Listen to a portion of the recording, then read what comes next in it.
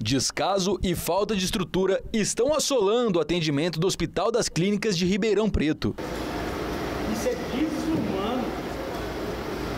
É. Desumano que estão fazendo com a gente. Sem Desumano. alimentação. Tem que tirar de lá.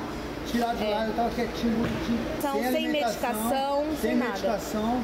Passei mal durante Olha a a noite. situação dele, ó. Pra poder. eh, Tudo inchado, pra poder ser atendido. Ah, isso aí é, é o fim, né? É o fim. É o fim. Segundo algumas testemunhas, Pedro Milan estava sendo atendido na UPA, recebendo os medicamentos e o tratamento correto.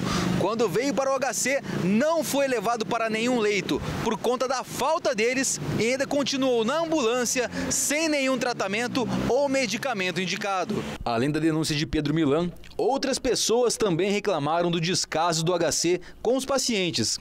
Segundo algumas testemunhas, há falta de ambulâncias, leitos e equipamentos para o atendimento correto dos pacientes, além da demora para realizá-lo.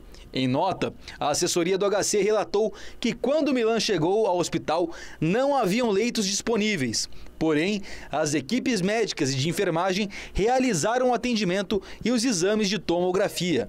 Ainda em nota, a assessoria do hospital disse que o homem chegou respirando normalmente e, por não ser um caso de urgência, ele foi encaminhado para o Hospital Estadual de Serrana.